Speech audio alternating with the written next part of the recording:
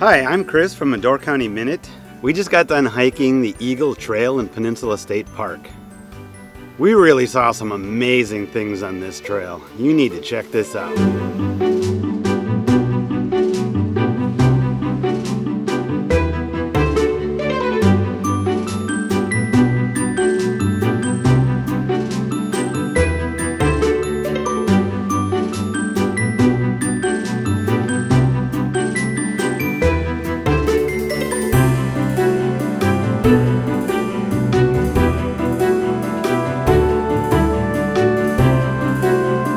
you.